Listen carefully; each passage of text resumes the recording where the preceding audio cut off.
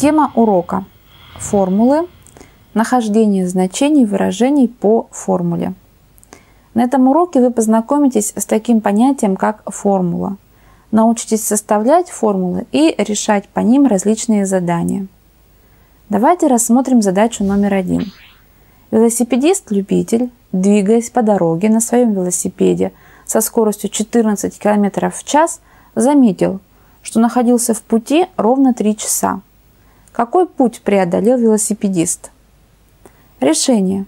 Чтобы узнать, сколько километров преодолел велосипедист, надо умножить его скорость на время пути, то есть найти произведение. 14 умножить на 3 равно 42. Ответ. Велосипедист преодолел 42 километра. Запишем правила нахождения пути по скорости и времени движения в буквенном виде – для этого обозначим путь латинской буквой S, скорость буквой V и время буквой T. Получим равенство S равно V умножить на T. Оно читается так. Расстояние равно время умножить на скорость. Это равенство называют формулой пути. Таким образом, получили определение.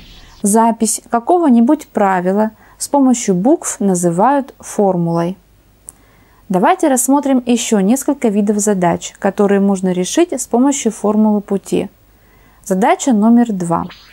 Скорость автобуса, осуществляющего междугородний рейс, равна 80 км в час. За какое время он преодолеет путь в 640 км? Решение.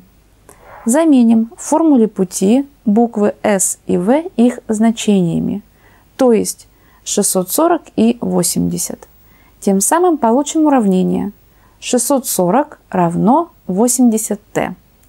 Из него находим t равно 640 разделить на 80, то есть t равно 8.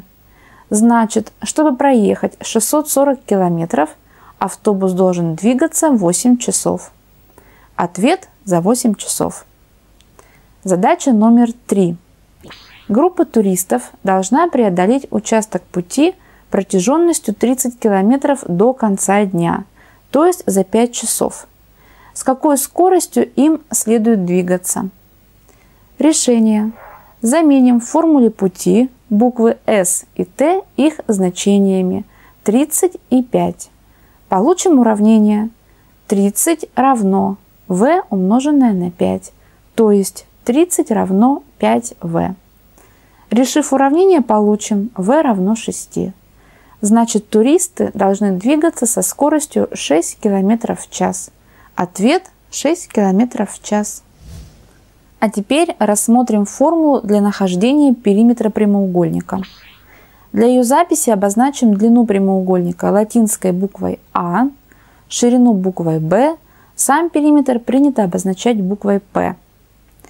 Так как периметр прямоугольника – это сумма длин всех его сторон, то P равно А плюс Б плюс А плюс Б. Или P равно 2А плюс 2b. По-другому P равно 2 умножить на А плюс Б.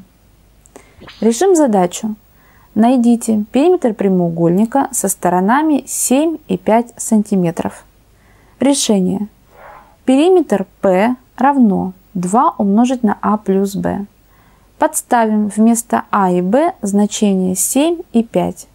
Получим p равно 2 умножить на сумму 7 плюс 5. То есть p равно 2 умножить на 12 равно 24.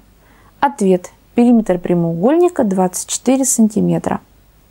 Рассмотрим еще одну формулу, формулу периметра квадрата – для ее записи обозначим длину стороны квадрата латинской буквой А. Сам периметр снова обозначим буквой P. Так как периметр квадрата это сумма длин всех его сторон, то P равно А плюс А плюс А плюс А равно 4А. Задача. Найдите периметр квадрата со стороной 7 см. Решение. Подставляем формулу P равно 4А значение а равное 7. То есть 4 умножить на 7 будет 28. Ответ. Периметр квадрата 28 сантиметров. Таким образом, на этом уроке вы познакомились с таким понятием, как формула. Научились составлять формулы и решать по ним различные задачи.